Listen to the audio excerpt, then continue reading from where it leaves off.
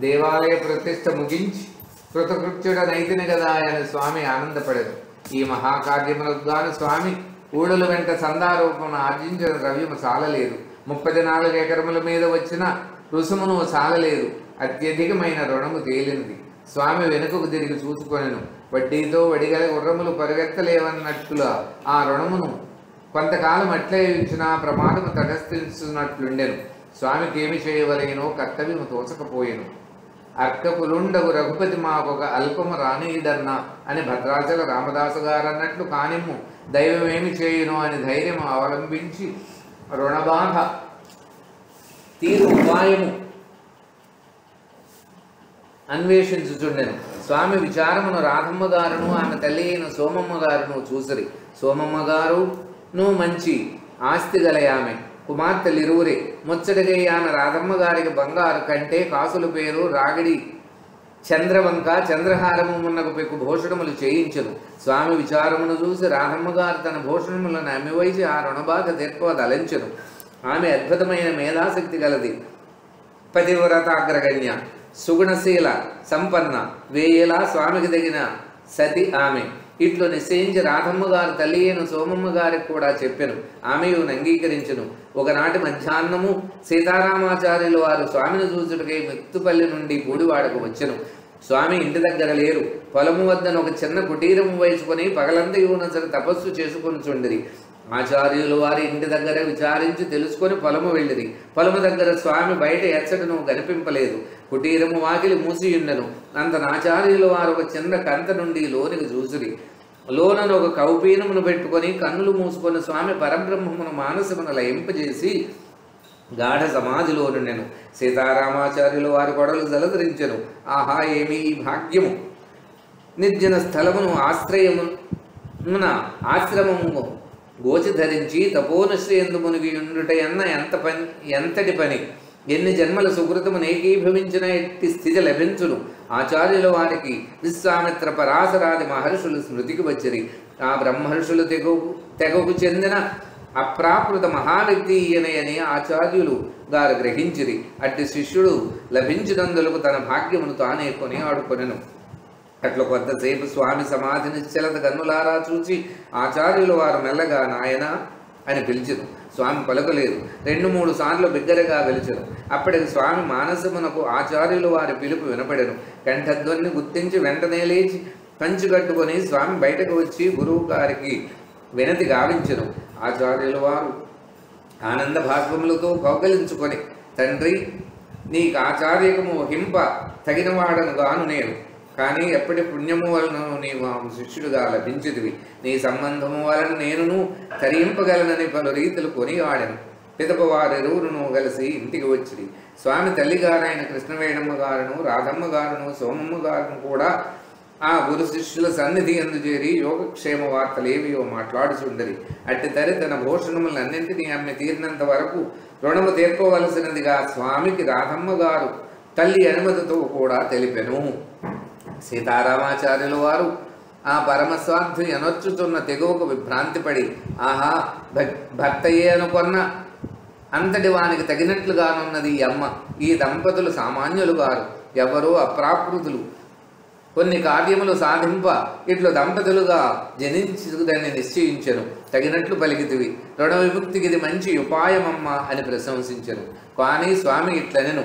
మీరిప్పుడేదో ఒక భావముతో నగలన్ని రుణము ఒప్పుమని నన్ను అను అనుచున్నారు కానీ ముందు ముందు మాట వచ్చినప్పుడల్లా నా నగలు నమ్మి నీ ఆస్తి దెబ్బ దెబ్బవత్తురు అట్టి మాటలు వహించి ప్రాచీర గుడ్డవలే పడియుండు వాడను గాడని మీరును ఎరిగి ఎందురు కదా ముందు కలహమునకు కారణం కానున్న ఈ పని నాకంత అంగీకారం లేదు. మరి రుణము తీరుట ఎట్లంటిదా? పైన భగవానుడున్నాడు. వాని బంగారు పాదములకు నా తల తిని. ఎట్లు చేసి నాట్లగును నన్ను ఊర్చి మీరు విచారపడన అవసరం లేదని స్వామి వచించను. అందులో రాఘమ్మ గారును ఆమె తల్లియు మిగులు నొచ్చుకొని అయ్యో మేము మేము దిప్పుట కూడానా? మీరు అనర్చినది మహాకార్యమని మాకు తెలియటలేదా? మీరేమి దండగులు దండగులు దౌర్భాగ్య పనులు చేసిద్దరని మేము మేము దూషింపగలము. బిడ్డలు కలిగిన కాపురము చెడకుండుటకై నగలు నమ్ముచున్నాము గాని మీకు ఇచ్చుచున్నామా? కావున అంగీకరింపవలేనని ప్రాధేయపడి బలవంతము గావించిరి. ఆచార్యులు గారును ఇది కర్తవ్యమే అని స్వామిని అంగీకరింపజేసి వెడలిపోయింది పెదప నగలన్నింటినీ అమ్మి వైచిరి అప్పటికి కొన్ని భూషణములు క్రొత్త మెరుగు కూడా మాయకయుండెను స్వామి తన హస్తములనున్న సువర్ణ కంకణములను అమ్మెను. కానీ రుణ విముక్తి సంపూర్ణము కాలేదు. తరువాత కొంత భూమిని కూడా విక్రయించి స్వామి రుణబాధ చాలా వరకు తీర్చుకొని కొంతవరకు నెమ్మది పడెను. అప్పటికి ఇట్లు రుణ విముక్తికై అమ్మినదియు. దేవాలయమునకు శాశ్వత ధనమునకై అసంగనదియు మొత్తము కలిసి భగవద్ విషయముగా ఏడెకరముల భూమి ఆస్తులు నుండి వేయపడెను స్వప్నం. రుణబాధ ఎత్తెత్తో చాలా వరకు దగ్గినది కానీ మిగిలిన దేవాలయ ప్రాకారం మండపాది కార్యములు ఎట్లు నెరవేర్పవలయున్నాయని స్వామికి దేయి పగలు ఒకటే విచారమాయను. తన ఆస్తిని వేయించి భగవదర్పణం ఇంకనూ చేయుటకు వీలు పడినట్లు లేదు. కుటుంబము పెరుగుచున్నను అప్పటికే కొంత భూమియో నగలను అమ్మిన గాని కడతేరలేదు. కావని ఇక చేయవలసినదేమి? దైవమిచ్చినది విద్యాబలం పుష్కలముగా ఉన్నది. దాని సహాయమున దేశమున సంచారము గావించి ఆ ధనముతో భగవత్ కార్యములు నెరవేర్పవలెనని స్వామి నిశ్చయపడను. మంచి లగ్నము తగిన పరివారముతో పరికరములతో బయలుదేరి పడమటకు పయనించి అట పరిచయముండుచే బొబ్బేపల్లి అను వీటికి చేరను. స్వామి వెంట తల్లి అయిన కృష్ణవేణమ్మ గారు నుండెను. అటనొక్కటి హరికథ చెప్పిరి. వందల కొలదిగా ప్రజ వచ్చిరి. స్వామి మంచి వయఃపాఠంలోనున్నారు. ఆ గాత్ర శోభకు నా పాండితికి నా వక్తత్వమునకు జనులు ముగ్ధులైపోయిరి. తమ దేశమునకిట్టి మహావక్త ఇంతవరకు రాలేదని గగ్గోలుగా చెప్పుకొనది తెల్లవారుసరికి స్వామికి నూట మూడు డిగ్రీల జ్వరము వచ్చెను. స్వామి వెంట కోదండ దీక్షాగురుడై రామచంద్రమూర్తి తాండవించుచుండును. ఎచ్చటికీగను అచ్చటనే జనులు సేవకులై ఖండోపదండములుగా వెంటబడి తిరుగుతుందరు ఆ కారణమే ఎందరూ పెక్కు ఔషధములను తెచ్చి వాడిది కానీ జ్వరం ఏమాత్రము తగ్గలేదు. ఇరవై నాలుగు రోజులు గడిచెను. స్వామి విసుగు చెంది ఇక భగవదాజ్ఞ లేదు. వెనుకకు తిరిగిపోవదమని నిశ్చయించి అచ్చట వారితో చెప్పిరి. వారెల్లరూ స్వామి విడువలేక చేయనది లేక నిరుత్సాహ ఆహత చెందిరి. పెదవు స్వామి బయలుదేరి వెనుకకు మరలను. ఆ ఊరు పొలిమేరలు దాటి మరలగనే ఇరవై నాలుగు దినముల నుండి విడుపుకి ఉన్న జ్వరము అంతు లేకుండా పోయెను. భగవద్ అంగీకారం లేని కథమున కలిగిన విఘ్నము కదాయని ఎరిగి స్వామి ఇరుచేరను అది ఏమో దైవ సంకల్పము. దేవాలయ ప్రతిష్ట కాకపూర్వము అమోఘముగా సంచారము వెళ్ళని యోరల నెల సాగినది కానీ ప్రతిష్ట అయిన వెనుక స్వామి ఎన్ని పర్యాయములు ప్రయత్నించునను దైవంగానేదో ఒక విఘ్నం కలుగుచునేయండను ఆస్తిని వినియోగంపై వీలు పడటలేదు కదా ఆయన భిక్షాటనము కేకిన అది నువ్వు ఇట్లు ఎదురాయను. స్వామికి విచారము హెచ్చరు. అట్టి దరి ఒకనాటి మధ్యాహ్న దినమున నిద్రించుచుండగా స్వప్నమున వేదమూర్తులలో అననొప్పు నాలుగు. మోములతో చతుర్ముఖుడును వాల్మీకి సాక్షాత్కరించిరి. అట్లు కనబడి తాము విధాతననియు అతడు వాల్మీకి మహర్షి అనియు. నిరింగించి వాల్మీకి ప్రోక్తమైన రామాయణము ముప్పది రెండు సార్లు పఠింపుము. నీ వాంఛితములల్ల తీర్నని బ్రహ్మదేవుడు ఉపదేశించను. అంత వల్మీక భవుడు వత్స బ్రహ్మలోకమితడికి ఎంత దూరమునున్నదియో శాస్త్ర దృష్ట్యా నీకు తెలియను కదా అంత దవ్వు నుండి నీ కొరకై ఆయన శ్రమపడి వచ్చినాడు. తదుక్తమును చక్కగా అనుష్ఠించి ధన్యుడు గమ్మని వచించను. స్వామి సరే అని వంగి నమస్కరించుతుండగానే వారిరువును అదృశ్యులైపోయింది స్వామి పులకాంకితుడై మేలుకొని తల్లికి ఇంటిలోని వారికి శిష్యులకు ఎరింగించను. స్వప్నము సంస్కారజనితములు కార్మణములు శాకునికములు అని మూడు విధములు. ప్రపంచమున మానవుడు చేయుచున్న పనుల వలన ఒక సంస్కారం మనస్సును నిలిచియుండి దానిచే పగలు తాను అలరించిన కార్యములే కలయందు గానవచ్చును. అది సంస్కార జనితములు ప్రపంచమున కానీ స్వర్గ నరకాదుల్లో గాని ప్రత్యక్షముగా అనుభవించుటకు వీలుజాలక అల్ప పాపపుణ్యములను ఈ కార్మణములు స్వప్నముల ద్వారా దైవం మనుష్యుల చేత అనుభవింపజేయును. ఇవి కార్ అది కార్మణములు అంటారు. అతత్ర రథా న రథయోగ న పంధానో భవంతి. అథ రథాన్ రథయోగాన్ పథసృజతే నిజముగా స్వప్నమున రథములు లేవు గుర్రములు లేవు. రథముకు మార్గములు లేవు. కానీ వీనన్నింటినీ తత్ తాత్కాలికానుభావ్యముగా భగవంతుడు సృజించును. పుణ్యమునకు ఆనందమయమైన వస్తు అనుభవము పాపమునకు దుఃఖకరమైన అనుభవమును మనుష్యుడెన్నడును కనివిని ఎరుగని విషయములు ఈ స్వప్నముల యందు అనుభవించుచుండును. స్వల్పముగా వచ్చే ఫలితము అలా కనపడుతుంటుంది శాకునికములనగా ముందు రాబో శుభాశుభములు తెలుపునవి. వీని వలన భవిష్యత్ ఫలములు సూచింపబడుచుండును.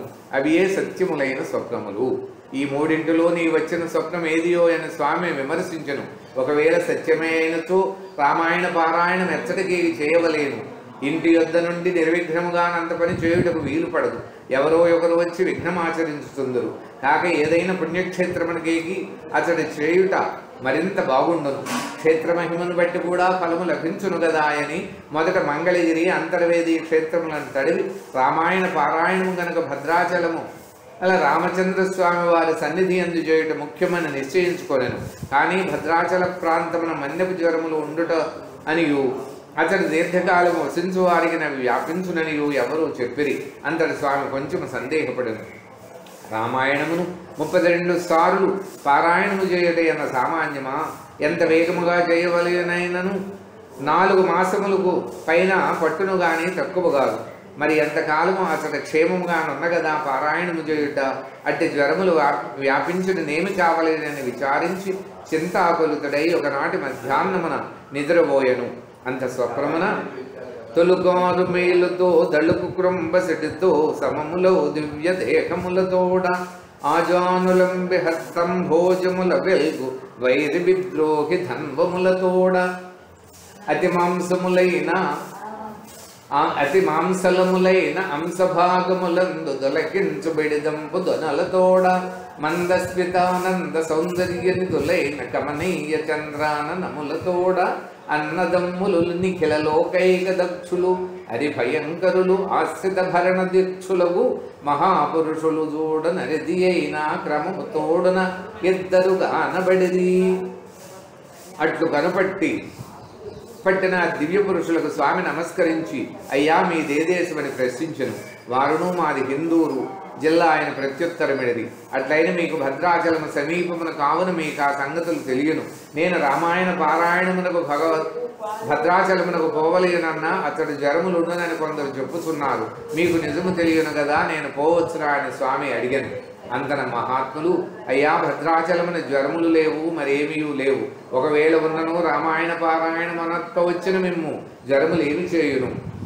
తప్పక భద్రాచలమునకు రెండు. నిర్విఘ్నముగా మీ పారాయణ నెరవేరునని అంతర్హితులైది స్వామి మేల్కని ఈ వచ్చిన వారు రామలక్ష్మణులని రామాయణ పారాయణకి భద్రాచలము రమ్మని తనకు ప్రయాణము చెప్పను అరుదించడనియు నెరింగి ఆనంద తన్మయులై ఎల్లరికి నువ్వు ఎరింగించి భద్రాచల యాత్ర నిశ్చయము భద్రశైల గమనం. రాధమ్మ గారప్పుడు నిండు సోలాలై ఉండను. అట్టి స్థితిలో నిల్లు వదలు దూరమేగుట ఇట్లని స్వామి వెనుకంజ వేయలేదు. చేయబోనది భగవత్ సేవ. సర్వరక్షకుడై వాడే ఉన్నవాడని అధ్యవసాయంతో నన్న స్వామికి అది ఏమి లెక్క? త్వర త్వరగా వ్యవసాయ పనులు ముగించను. నాటులైపోయినవి. ఊరికి పన్మటనున్న పాలెమున స్వామికి మొగలుకు రక్తమైన శిష్యురాలు గలదు. ఆమె పాపం బాల్యమననే వైధవ్యం పొందను. అయినను ఆమె నిప్పు వంటదే సదాచారముతో జీవయాత్ర గడపచు దానికి తోడు భగవద్భక్తిలో దిగి స్వామి పాదములు ఆశ్రయించను. అవసరములైన సమయములయందు స్వామి ఇంటిలో వంట పనులకు ఆమె ఉపయోగపడుచుండేది కావున ఆమెను తల్లి అయిన కృష్ణవేణమ్మ గారిని వెంట తీసుకొని స్వామి భద్రాద్రికి గమనింపనించెను ఇంటికడ జాగ్రత్తగా కనిపెట్టుకొని ఉండుటకై రైలందు పరుండదగు జీతకాండ్రను నియమించను. పనివాండ్ర లెక్కలు మొదలైనవి చూడ వెంకట సుబ్బయ్య గారిని నియోగించను. సోమమ్మ గారును పొడివాడైందే ఉండను. పెదపనొక ఒక సన్నాహంతో ఒక జీతకాండ్రని వెంటగైకొని సత్తమ్మ గారితో కృష్ణవేణమ్మ గారితో స్వామి ప్రయాణించను. గజవాడ మీదుగా పోయి కొత్తగూడెమున రైలు బండి దిగిరం డిగిరి ఆ పూట అతడు బస చేసి వంట గావించుకొనుటకై నూరులోనికి ఏది చూడగా అతడు కొంతమంది బ్రాహ్మణులు కూర్చుండి చెట్ల పేక ఆడుచుండరి. వారికి అడిగేది స్వామి వంట చేసుకొనుటకు ఒక ఇంటి నిమ్మని అడిగా వారు మీరెవరని ప్రశ్నించురి. మేము కాపులమని స్వామి చెప్పగానే అబ్బో ఇది బ్రాహ్మణ బ్రాహ్మణాగ్రహారం శూద్రులకి బస అయ్యి వీలు కాదండి. అంత స్వామి ఇది బ్రాహ్మణాగ్రహారంని మీ చెట్లాట వల్లనే బోధపడుతున్నది కానిండు. మరి కొందరు బ్రాహ్మణులు లేచిపోయి ఇతర జాతులను కూడా కొందరిని ఎచ్చట ఉంచకపోయి తిరిగి బ్రాహ్మణేతరులు వచ్చినప్పుడు ఉండుటకు వీలు పడును. వల్లనే బోధపడుతున్నది కానిండు. మరి కొందరు బ్రాహ్మణులే లేచిపోయి ఇతర జాతులను కూడా కొందరిని ఇచ్చట ఉంచకపోయేది బ్రాహ్మణేతరులు వచ్చినప్పుడు ఉండటకు వీలు పడింది. సాలులేండి అయ్యా అకాలం అయిపోయినది వంట చేసుకొని ఇల్లు చూపమని ఇట్టి ప్రసంగములు చేయుట అర్హము కాదని నుడివారు పెరుప స్వామి గండతనమునోను బ్రహ్మతేజమును చూసి ఒక బ్రాహ్మణుడు లేచి వచ్చి ఒక ఇల్లు ఖాళీ చేసి ఇచ్చను. అది చూడ దిగి వెంటనే కృష్ణవేణమ్మ గారును రత్తమ్మ గారును స్నానము గావించి మడి ఆరవ ఆరవయిస్తుండది అటు చూసి యోహో కాపలు మంటదే మరి బ్రాహ్మణాచారములుగా స్నానము ద మడులు దడులు ప్రారంభించుతున్నారేమి అని విప్రులు ఆశ్చర్యపడుచు స్వామి సన్నిధికి చేరిది అంత స్వామి తన విషయమును సర్వమును తెలిపి భగవదాగ్ని చొప్పున భద్రాచలమునకు రామాయణ పారాయణమును గావింపబోచున్నానని మొదలుపెట్టి ఒక గంట సేపు భగవద్ విషయమును ఉపన్యసించరు బ్రాహ్మణులెల్లరూ ఆ ఉపన్యాసమునకు నివ్వెరపోయి మొదట బసయించుటకు వీల్లేదన్న వారెల్లరూ కూరగాయలు నెయ్యి పప్పు మొదలైన పదార్థములను తెచ్చి స్వామికి అర్పించి అత్యంతముగా గౌరవించారు భగవద్దాసులకు ఎసరిగేగను కొరంత ఏముండును? అటు పిమ్మడి స్వామి మధ్యాహ్నము నుండి బయలుదేరను. అది ఎంతయు మహారణ్య మార్గము. గగనమునంటి పెరిగి ఉన్న పెద్ద పెద్ద ఆకుల తోడను. చెట్ల కొమ్మలయందు బండి చక్రములే వేలాడు తేనె పెరలతోనూ. వివిధములైన లతా గుల్మాదులతోడును చిన్న చిన్న అరణ్య జంతువులతోడును ఆ త్రోవ వెనుకను భయమును గుచ్చెను. మార్గమెరిగిన యొక్క వనిత త్రోవలో వీరికి జతపడెను. వెంటనే జీతగాడు. మంచి బలిష్ఠుడు. ధైర్యపడు అందువలన స్వామి కొంత స్థాయిగా నా తెరువున ప్రయాణము గావించదు రెండు మూడు మజలితో స్వామి గోదావరి ఈవలి తీరమునకు చేరెను. అఖండ గోదావరి సంపూర్ణముగా వచ్చి ఉండెను స్వామి పరిజనముతో పడవ నెక్కెను. గోదావరి మధ్యలో నేగుసరిగి భద్రశైల వాసుడైన రాఘవేశ్వరుని ఆలయం మీది చక్రమూర్తి గోచరించను. ఎల్లరనూ ఆ సుదర్శన స్వామికి మొక్కులిడిరి.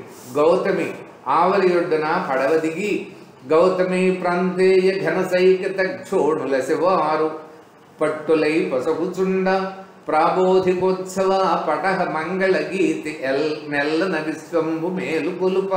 సీతాసుమిత్రజోపేతంబుగా నొప్పు తనయున్కలోక భద్రంబుగాగా. ప్రాగార మంటప బహుళ గోపర వీధి లక్ష్య సాఫల్యంబు నావగింప రాఘవేశ్వరుడాశ్రితారాధనముల గడవి గైకోనా.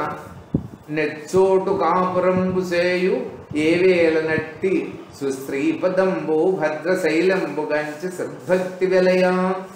అవి వీటజొచ్చి అది చోట ఒకచో బస కుదుర్చుకొని ఆ రాత్రి వేకువనే లేచి గోదావరి ఎందు స్నానము గావించి తన వారితో కూడా నరిగి ఆలయంబుదొచ్చి స్వామి అఘనాశనుండై సకల లోకాహ్లాదంబు గావించుచు అగ్ర ప్రేయో రామ అన్నట్టు రామాయణ ఉక్త ప్రకారమునదన కుడివైపున సీతాలక్ష్మణులు వెలయ వేంచేసి ఉన్న రఘుద్వహని సేవించి సమీపమునున్న ఒక మండపమున రామాయణ పారాయణము ప్రారంభించి ఆ రెండవ నాడు వెంట వచ్చిన జీతగాడు వెనుకకు మరలి అంత దూరమున స్వామిని ఒంటరిగా విడిచిపోవడకు చింతించి ఎట్టకీలకు వెళ్ళి వాడకు చేర వెళ్ళిపోయాను.